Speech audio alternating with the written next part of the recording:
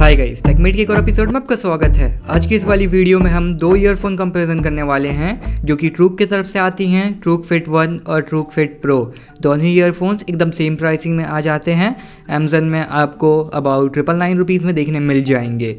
अब जैसा कि ये दोनों ही ईयरफोन्स एकदम सेम प्राइसिंग में आ जाते हैं सेम ब्रांड की तरफ़ से हैं तो मैंने सोचा आपके लिए एक कंपैरिजन वाली वीडियो बना दूँ, ताकि आपको कोई भी कन्फ्यूज़न नहीं रह जाए कि आपको कौन सी वाली परचेज़ करनी चाहिए। अब यहाँ पर कंपैरिजन स्टार्ट करने से पहले मैं आपको बता देना चाहता हूँ कि ट्रूक फिट वन जो है वो एक्जैक्टली सेम है पीट्रॉन की तरफ़ से आने वाली पीट्रॉन बेस बर्ड्स की जैसे। उसमें एकदम सेम डिज़ाइन दी गई है, सिर्फ़ और सिर्फ़ इतना सा डिफरेंस है कि पीट्रॉन के जो बेस बर्ड्स हैं, उसमें ऊपर सर्कुलर स्काई ब्लू कलर की लाइन दी गई है, जो कि आपको ट्रूक फिट वन में देखने नहीं मिलती। बाकी चार्जिंग केस और उसकी जो ईयरबड्स हैं पूरी प्लास्टिक एकदम सेम है सेम डिज़ाइन दी गई है और सेम ऑडियो क्वालिटी आपको देखने मिल जाती है। इवन जो बैटरी कैपेसिटी है, वो भी दोनों ही ईयरफोन्स में एग्जैक्टली सेम है।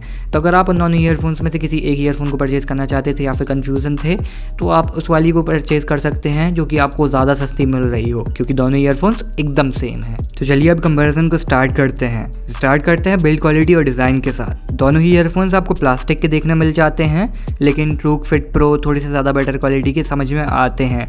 उसमें थोड़ी अच्छी क्वालिटी की प्लास्टिक यूज़ की गई है, साथ ही साथ ऊपर से रबराइज मटेरियल का टचअप दिया गया है, जिस वजह से ओवरऑल काफ़ी ज़्यादा प्रीमियम लगने लगते हैं। वहीं दूसरी तरफ़ ट्रूक फिट वन में एकदम चीप क्वालिटी की प्लास्टिक यूज़ की गई है, और प्रीमियम तो बिल्कुल भी नहीं लगते। अगर हम दोनों ईयरफोन्स की ईयरबड्स की बात करें तो दोनों ही जो ईयरफोन्स के ईयरबड्स हैं, वो उतनी ज़्यादा अच्छी क्वालिटी के नहीं दिए गए हैं, दोनों में ही चीप प्लास्टिक यूज़ की गई है, और दोनों ही प्रीमियम नहीं लगते। लेकिन हाँ ट्रूक फिट प्रो में थोड़ी सी डॉल्फिन वाली डिज़ाइन दी गई है। मुझे तो उतनी ज़्यादा पसंद नहीं आई। साथ ही साथ इस टेढ़ी मेढ़ी डिज़ाइन की वजह से कंफर्ट भी थोड़ा सा बेकार हो जाता है। कानों में थोड़े से ये चुभने से लगते हैं।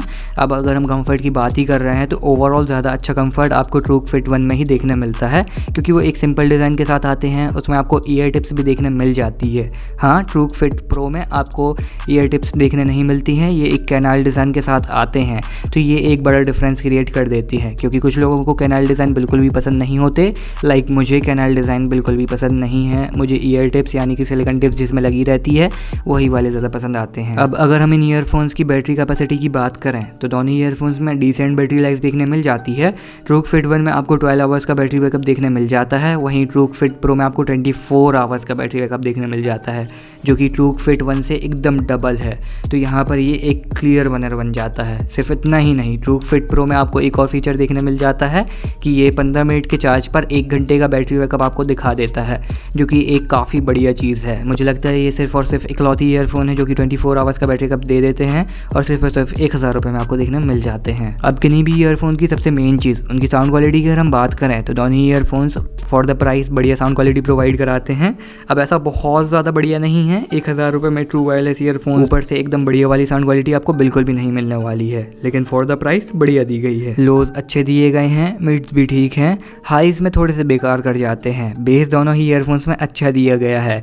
ओवरऑल साउंड क्वालिटी मुझे ट्रूक फिट वन की ज़्यादा बेटर लगी क्योंकि उसमें हाई वॉल्यूम्स में भी डिस्ट्रॉशन समझ में नहीं आता। वहीं ट्रूक फिट प्रो में हल्का सा डिस्टॉर्शन समझ में आने लगता है जब आप एकदम फुल वॉल्यूम में उसे यूज़ करते हैं। अब अगर हम इन ईयरफोन्स की कनेक्टिविटी की बात करें तो दोनों ईयरफोन्स में ऑलमोस्ट सेम कनेक्टिविटी आपको देखने मिल जाती है। टेन मीटर्स की रेंज में कोई भी परेशानी नहीं आएगी।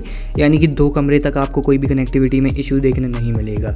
मैंने इसमें पबजी भी स्ट्रीम करके देखा, एकदम हल्का सा डिले रहता है, जिसे आप इग्नोर करते हुए पबजी भी खेल सकते हैं।